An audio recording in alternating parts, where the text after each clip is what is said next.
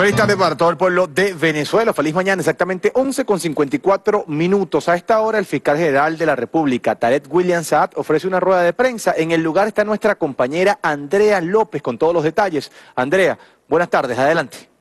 Contacto amigos de Venezolana de Televisión, lo hacemos desde la sede del Ministerio Público, donde en este momento el doctor y fiscal general de la República Bolivariana de Venezuela, Tarek William Saad, va a ofrecer información de interés nacional y también una rueda de prensa. Vamos a dejarlo entonces con la intervención del doctor Tarek William Saad. Buenos días, tengan todos ustedes amigos de la prensa. Creemos importante ya a dos semanas de haber sido designados como fiscal general de la República por la plenipotenciaria Asamblea Nacional Constituyente, rendir un balance un poco ya más al detalle sobre temas que quiero clasificar de entrada. Tienen que ver con casos que estuvieron aquí sepultados, que no hubo acción penal de ningún tipo, y lo voy a demostrar con cifras, vinculado a temas sumamente graves para la República, como por ejemplo casos vinculados a corrupción, Senco Escadivi, casos vinculados a drogas, entre otros. Y esto, por supuesto, lo hemos logrado con el aporte incondicional de funcionarios de este Ministerio Público, que no todos pertenecían al cartel, a la mafia de extorsión que lideraba la ex fiscal general de la República, que ustedes saben está muy comprometida con cada una de las cosas que aquí se han ido descubriendo durante los casi 10 años de demolición a la cual ella se dedicó prácticamente en contra de esta institución yo pudiera de entrada, de entrada, decir como una gran conclusión que estos casos que son parciales, apenas vamos a ir mostrando poco a poco y va a ser mi responsabilidad, semanalmente, quincenalmente, interdiariamente, como fuera, demostrar cómo aquí hubo una plena intención de actuar, y lo presumo así, manipulando casi siempre pruebas, indicios, para propiciar la extorsión, la protección de grupos muy grandes, empresas muy poderosas y algo muy grave, la utilización de la investigación penal con fines selectivos, incluso la utilización de víctimas con fines propagandísticos, entre otras desviaciones. Y voy a ir de entrada a reflejar algunos datos importantes para el país. Por ejemplo, caso de Sencoex, tanto que se habló de eso, tanto que eh, la anterior gestión en algún momento, yo diría como solamente un hecho propagandístico, quiso dar a entender que estaba impulsando la acción penal allí. Qué sorpresa hemos encontrado cuando vemos que el 80% de las causas de Sencoex fueron sobreseídas. Voy a repetir la cifra. El 80% de las causas abiertas de Sencoex fueron sobreseídas. Es decir, los presuntos responsables, implicados, investigados, fueron liberados. El 80%.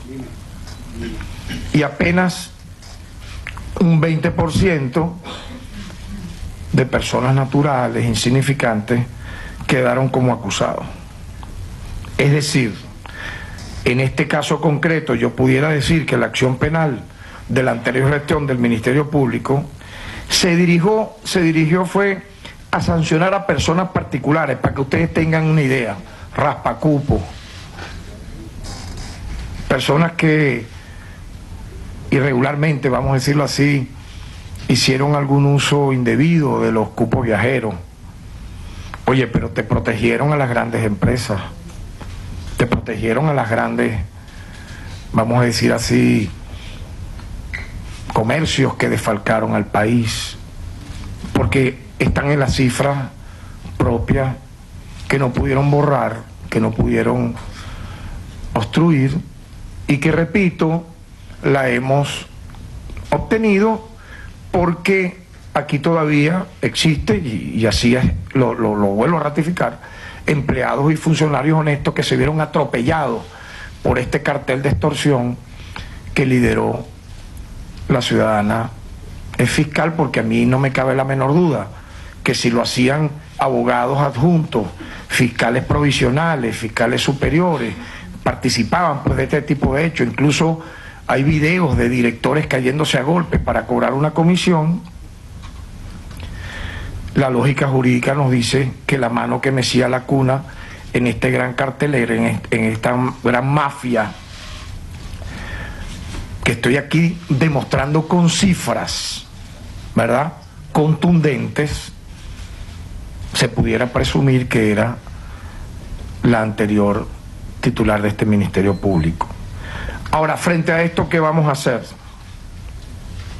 Hemos decidido entonces revisar todas las causas que involucran a empresas que han recibido dólares preferenciales y reabrir todas aquellas causas donde se evidencia una actuación negligente del Ministerio Público. Es decir, vamos, estas cifras nos obligan a ver por qué pasó eso así. ¿Por qué liberaste a todos los grandes recibidores, captadores, como empresas de millones de millones de dólares preferenciales que estaban investigados, pero te ensañaste contra los que, entre comillas, son conocidos como raspacupos o... y la cifra ya la, ya la demostré. 80% de sobreseimiento a presuntas empresas vinculadas a esta materia. CADIVI, divisa para casos especiales. Hemos encontrado también un caso, casos de obtención irregular de divisas que permanecen sin actos conclusivos, incluso tres años después de haber sido aperturadas las investigaciones. Denuncias de obtenciones irregulares de divisas para la adquisición de, por ejemplo, aparatos auditivos, iniciada en el año 2014, se congeló. ¿Por qué? Hemos visto que en todas las solicitudes de esta empresa, informes médicos poseen la misma redacción y diagnóstico, lo firma un solo médico. Se supone entonces que aquí hay algo irregular, que con la complicidad del Ministerio Público, a pesar de que estamos hablando de un caso emblemático, y por reserva legal no quiero mencionar la empresa, aquí prácticamente eso se engavetó. Igualmente, hay en una serie de casos vinculados a Cadivi órdenes de aprehensión que ni siquiera procuraron activarla. Es decir, el Ministerio Público allí, yo pudiera que decir, se presume, actuó con una premeditada negligencia. En este sentido, pues también hemos acordado reimpulsar estos casos para que se pase obviamente, en los casos que haya lugar, a una eh, fase acusatoria y conclusiva. Caso de droga, esto es muy grave lo que voy a mencionar acá. Y voy a demostrarlo con cifras proporcionales y ustedes sacarán sus conclusiones. Por ejemplo, entre enero y julio de este año, ¿Cómo puede ser entendible que, en conclusión, se presentaron más sobreseimientos a presuntos responsables de tráfico de drogas o vinculado al tema de las drogas que acusaciones? ¿Cómo se puede explicar eso? Lo digo, por ejemplo, con esta cifra. Se presentaron 5.468 sobreseimientos en contra de 4.467 acusaciones. Eso merece, por lo menos ser investigado y explorado. ¿Qué hemos observado aquí? Y quiero ser en esto muy textual. La tendencia en el Ministerio Público en la anterior gestión sobre el tema de las drogas era que se exigía a los fiscales del Ministerio Público un cumplimiento de meta de acto conclusivo al mes. Cuando se acercaba el fin del mes, se presionaba de manera indebida a los fiscales para que a como de lugar hubiese números conclusivos. Muchos fiscales se veían obligados a dictar, vean la sorpresa entonces, sobreseimiento en casos que con más investigación, ¿verdad? Con más desarrollo de la acción penal, hubieran terminado con imputaciones, acusaciones. En conclusión, se sacrificaba la justicia en función de una especie, yo diría, entre comillas, de indebida industria del sobreseimiento a como de lugar o de culminación de actos conclusivos, pero en el fondo sacrificando la justicia. Y ustedes dirán, ¿quién nos han dicho, quiénes nos han hablado de esto? Los mismos funcionarios del propio Ministerio Público, con los cuales nos hemos reunido, que se veían presionados a actuar de esta manera por directores generales y por la propia ex fiscal general de la República. Fiscales nos han informado que no se hacían las investigaciones como debían hacerse, no se cumplía lo que se llama el ABC de toda investigación penal. Se realizaban de manera aleatoria algunas diligencias, ¿verdad? Como un mero trámite, y a fin de mes, cuando correspondía, según esa meta trazada, aportar los números, lo que se hacía entonces era sobreseer a los imputados. Yo me pregunto, gracias a esta indigna acción de la anterior gestión del Ministerio Público, ¿cuántos responsables del tráfico de drogas están libres, sus causas sobreseídas y siguiendo dañando a la juventud venezolana? ¿Qué vamos a hacer al respecto? Porque a cada cosa estamos dando instrucciones claras. Hemos dictado un lineamiento para cesar en la elaboración compulsiva, ¿verdad?, de actos conclusivos en el sentido que no tengan siquiera una, un impulso de una acción penal, o sea, que tú agarres y simplemente por mero trámite llegó el mes, bueno, vamos aquí a... Sobre todo, vean ustedes, casos de droga, casos de corrupción. Me llama la atención porque son los que pudieran ser captados para la extorsión, captados para, la, para el tráfico de influencia. Se revisarán los expedientes de este año para corroborar si se ha estado actuando con negligencia en las investigaciones, a los fines obviamente retomar la búsqueda de la verdad en aquellos casos donde efectivamente existan elementos, pues tampoco es actuar por actuar, sino vamos a reimpulsar pues cada uno de estos casos. Nos llama la atención, por ejemplo, sobre este tema, la incautación de sustancias controladas vinculadas con producción de drogas. Estos casos pueden haber sido usados para extorsionar. Voy a repetir otra vez. En función de lo que hemos ido diagnosticando, nos llama la atención que en la incautación de sustancias controladas vinculadas con producción de drogas, una, un hallazgo preliminar pudiera decirnos que en estos, estos casos en particular pudieran haber sido usados para extorsionar.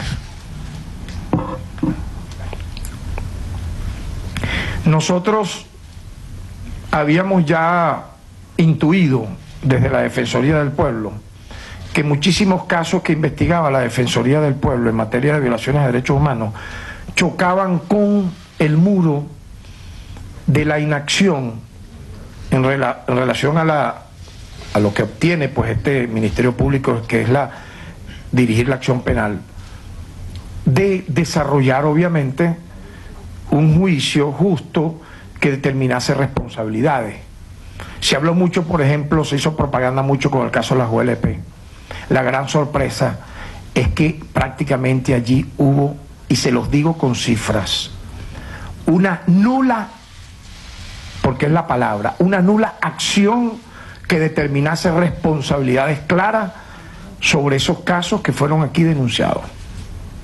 Y que muchos de ellos, por cierto, los clasificamos como Defensoría del Pueblo, lo recuerdo muy claramente, entre los años 2015-2016, fueron entregados a este Ministerio Público y yo pudiera concluir, fueron engavetados. Una cosa es el Twitter, una cosa es la, la declaración pomposa discursiva y otro es lo que estamos encontrando en la realidad. Pudiera agregar otro caso muy sonado, que fue usado incluso, yo diría, utilizando a las víctimas, a las presuntas víctimas, en el caso de los verdes, hechos que fueron denunciados en junio del año 2017. Recabaron una información, se reunieron con unos vecinos, pero, sorpresa, no hay imputaciones, no hay detenidos, no hay órdenes de aprehensión, solo esto se usó como una plataforma de propaganda y de utilización de las víctimas, las cuales fueron usados en videos, en fotos, pero sin que hubiese finalmente una, un compromiso con la restitución en caso de que hubiese una violación de derechos humanos de la reivindicación de esas garantías constitucionales. Obviamente entonces vamos a reimpulsar todas las actuaciones donde aparezcan agentes del Estado involucrados en acciones que tengan que ver con violaciones a derechos humanos, siempre actuando de manera coordinada con el Estado, con el Poder Judicial. Otro caso que nos ha llamado mucho la atención y que tuvo mucha sonoridad mediática, los llamados papeles de Panamá. ¿Qué hemos descubierto aquí, mis amigos?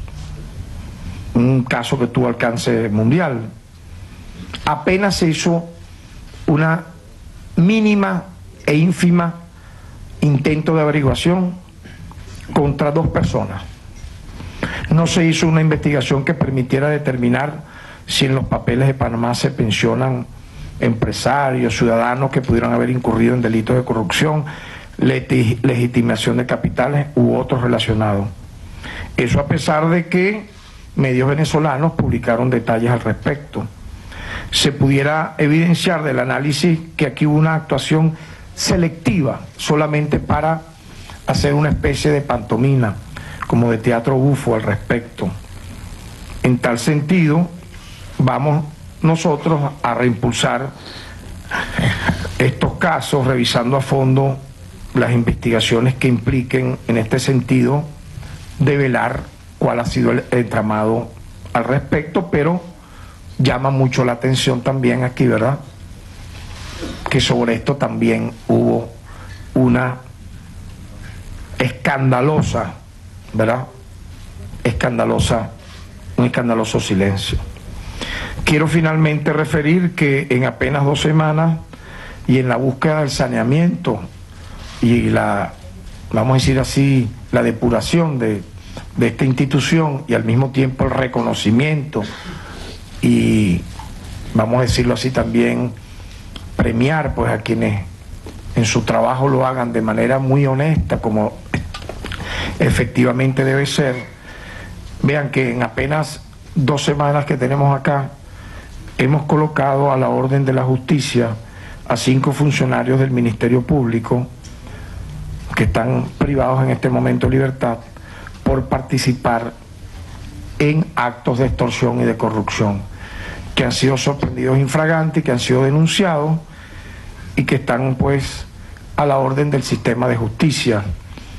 Yo he dicho que este tipo de personas que actuaron de esta forma o, que piensan seguir actuando de esta manera, simplemente que cooperen, que digan, que expliquen, que informen el modus operandi de esta red, de este cartel que estamos desmontando acá, que se pongan a derecho, porque igualmente esto va a seguir investigándose vean ustedes, lo que no ocurrió en, en años, en meses, ustedes como periodistas yo no recuerdo que se le presentaba a ustedes un diagnóstico, un balance de funcionarios que actuaban en favor de la corrupción y la inmoralidad utilizando el sistema de justicia como el Ministerio Público.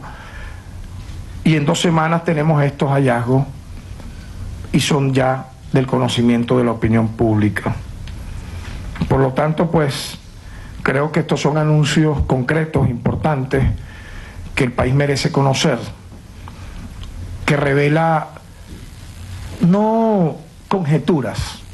Aquí estamos hablando de cosas muy delicadas. Con estas cifras, con estas estadísticas preliminares en materias centrales, muy, muy gruesas, que vinculan casos de corrupción, casos de droga, casos de derechos humanos, la negligencia, la impericia, el dolo con que aquí se actuó simple y llanamente merece ser conocido por la opinión pública porque la realidad es la realidad. Yo recuerdo, ya para terminar, cómo la ex titular dijo que se iba a inmolar en las calles de Venezuela, iba a protestar con el pueblo por la moral, la decencia, que daría su vida incluso aquí dentro de esta institución, que la verían en las calles luchando y el pueblo la vio fue en un yate, huyendo, en aviones privados, una especie de tour mundial que va de islas del Caribe a Colombia, de Colombia a Brasil, de Brasil no sabemos a dónde, y ha tenido el tupé de decirle a la gente que no abandonen Venezuela. Claro, no abandonen Venezuela. Ella y su entorno vinculado a los casos más escabrosos, groseros, y realmente repugnantes de corrupción están viajando por el mundo a través de yates, a través de aviones privados, tratando de enlodar sin ningún tipo, por cierto, de, de entidad, lo que sí ocurrió aquí y lo estamos demostrando el día de hoy. Y cada información que tengamos y podamos compartir con ustedes la vamos a seguir haciendo, pero aquí llegó un equipo honesto, de empleados honestos, que se suman los que estaban a los que estamos llegando para limpiar la imagen de esta institución, para depurarla y pido la colaboración de todos ustedes en función de este adesentamiento que nos reclama la nación venezolana, porque no puede seguir ocurriendo esto que aquí ya es del conocimiento de la opinión pública que en los casos más sensibles que implican para Venezuela el combate al delito, como por ejemplo corrupción, legitimación de capitales, fraude, ¿verdad? Drogas, violaciones a derechos humanos, este Ministerio Público fue cómplice y protegió y amparó más bien a quienes pudieron haber atentado contra la democracia venezolana. Pasamos entonces a dos preguntas, por favor. Ya hemos dicho uno de medios nacionales, otro de medios internacionales y damos por concluida esta comparecencia. Primera pregunta a cargo de Andrea López de Venezolana de Televisión. Hola, buenas tardes. Bueno, quisiera aprovechar esta rueda de prensa y es que precisamente el día de hoy se conoció que la ciudadana Luisa Ortega Díaz llegó a Brasil en condición de fiscal para participar en una cumbre del Mercosur y ha expresado que tiene pruebas contra el presidente Diosdado sí, Jorge Rodríguez, incluso lo ha catalogado como un usurpador. Quisiera conocer su opinión y sus consideraciones referente a este tema. Gracias. Bueno, miren, yo creo que con lo que hemos aquí descrito, y nosotros no teníamos por qué ni tener conocimiento que esta señora, que ahora es una turista mundial, Habrá que ver quién soporta logísticamente todos esos viajes con un séquito cada día más grande, ¿no? Eh, yo creo que lo que estamos develando aquí tiene que ser difundido también por esos y conocido por todos esos fiscales y por toda la comunidad internacional. Estamos hablando de una ex fiscal general de la República que obviamente fue removida del cargo por haber cometido faltas graves contra la moral, contra la ética, violando la ley orgánica del Ministerio Público y la ley orgánica del Ministerio del, del Poder Ciudadano, y que cesó en sus funciones en los términos más escabrosos que hemos visto, porque ni siquiera tuvo una salida digna, honorable, que yo creo por todas las cosas que estamos conociendo tiene el repudio nacional. Incluso quienes en algún momento se presentaron como, entre comillas, sus aliados coyunturales, la han abandonado porque, por más que sea, mira, estas cosas que estamos aquí mostrando, que se están viendo, son tan duras, son tan concretas, son tan fuertes, son tan tremendas, que tú no lo vas a poder tapar con cualquier comparecencia ficticia o virtual en lugares ajenos a tu patria. Una persona que tenga un mínimo y átomo de vergüenza se hubiese puesto a la orden de la justicia. ¿Por qué no lo hizo? Y coopera, pues. Ah, 10 años después, escuchen, 10 años después, y fuera del país, vas a venir a hablar de lo que no hiciste de lo que no, del cual, de lo cual fuiste cómplice. Porque aquí yo he demostrado con pruebas, con números, con cifras, están en el sistema. No con montajes que pudiera haber esta persona hacer ahora, porque experta en montajes sabíamos era. Se llegó a decir que no estuvo en la reunión del 16 de diciembre del año 2015, cuando cinco testigos dijeron que estuvo, que participó, que habló cuando se preseleccionaron a los candidatos a magistrados. ¿Qué podemos esperar? Que luego firmó el acta que se leyó de esa reunión y dijo que no había firmado hasta que la grafotecnia, ¿verdad?, del 6CPC demostró que sí. ¿Qué podemos esperar? Simple y llanamente, yo diría que lo que no hizo en 10 años, lo que no demostró incluso en, esto, en este año donde fue la principal pieza para la invasión militar a Venezuela. Yo lo denuncié y lo dije y lo repito. La principal pieza para la ocupación militar contra nuestra nación fue la ex fiscal general de la República. Con cada una de sus declaraciones, con cada una de sus actuaciones. Afortunadamente este pueblo es muy sabio y no acompañó semejante aventura.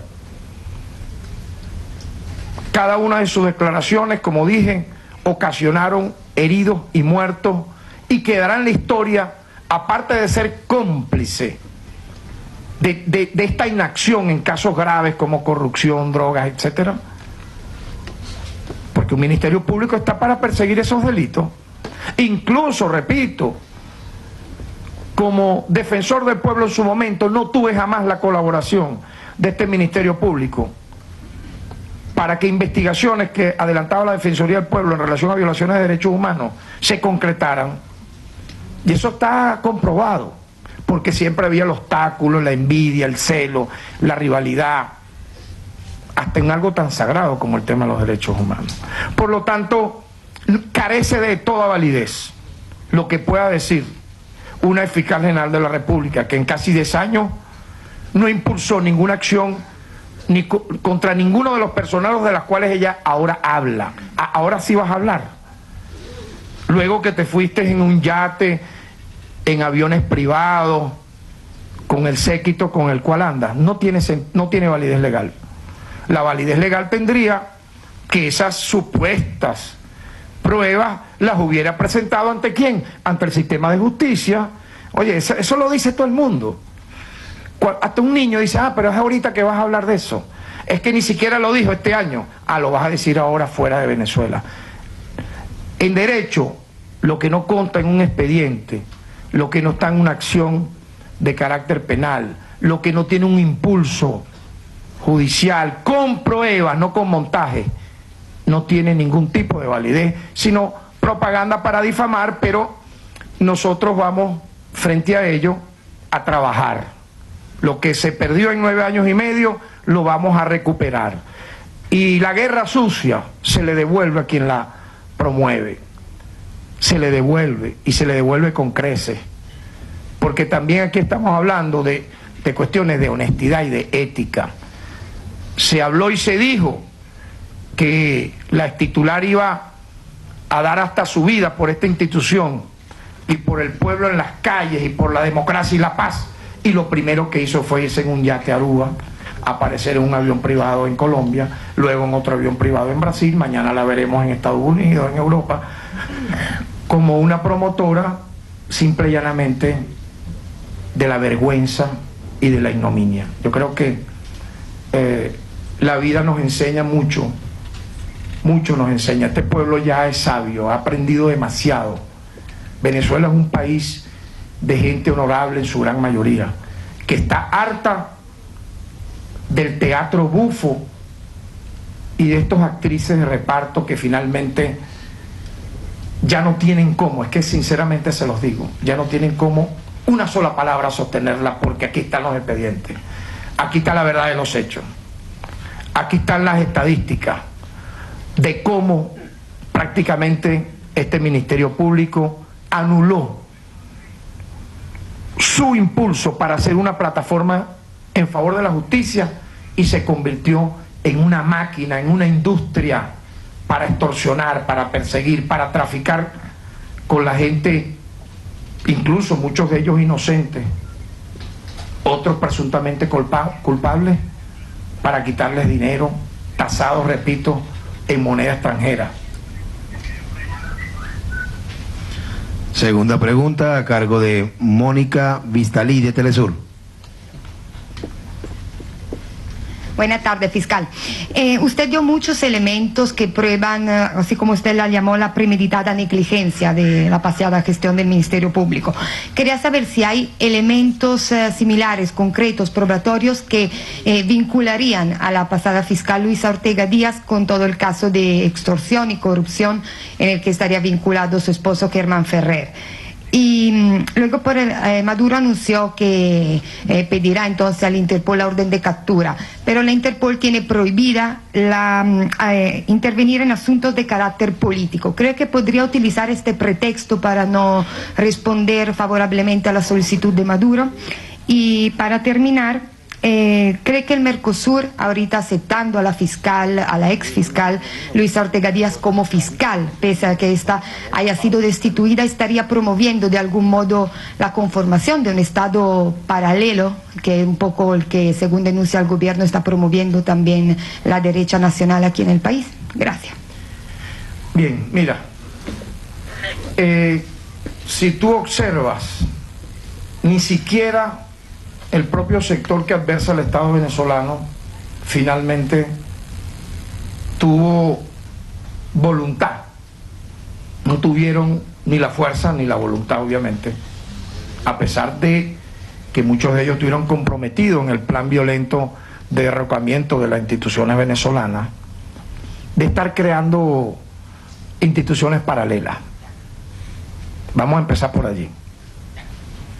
Tan es así que yo debo decirlo con toda la responsabilidad. Y creo que es parte de, una, de un sistema de convivencia. Como fiscal general de la República, designado y en funciones, dirigentes de la oposición venezolana, jefes de la oposición venezolana, me han a mí, eh, vamos a decir, traído casos para ser diligenciado en este Ministerio Público. Hay, un reconocimiento tácito por la sociedad venezolana en general, no solamente del Estado venezolano.